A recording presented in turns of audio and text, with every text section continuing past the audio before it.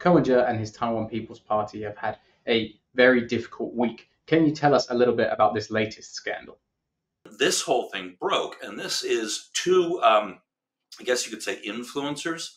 And the two of them did some investigating into uh, the TPP's finances, and the and then the TPP had to hold a press conference admitting there were irregularities and 17 entries uh, for over 18 million NT.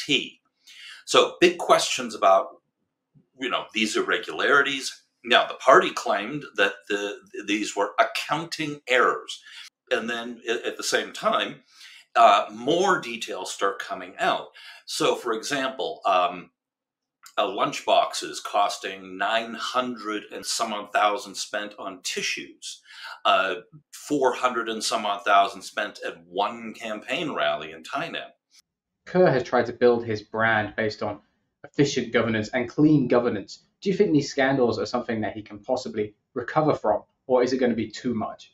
It really looks very bad that, you know, Ann Kao, his vice mayor, the companies that he hand, you know handed all of his marketing to you know the, the all these people around him that he presumably chose are being investigated for corruption. Now if they're found guilty that will be a pretty serious blow to people's um, perception of his abilities uh, to run anything really. Um, but if it if this goes up the chain and he becomes embroiled in it um, you know, then definitely his career is finished.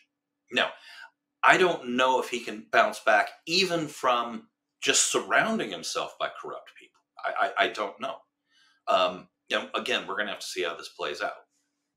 Ko and the TPP surprised a lot of people with their strong performance in January's elections, getting 20% of the vote countrywide.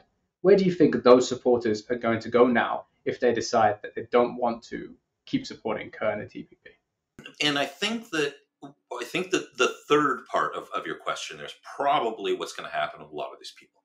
A lot of them are going to go back to being independents who may lean one way or lean a, another. Um, I think that ultimately, the kind of people who supported the TPP, I think ultimately are looking for a third party. And if a viable new third party were to appear, I think that they might go toward that.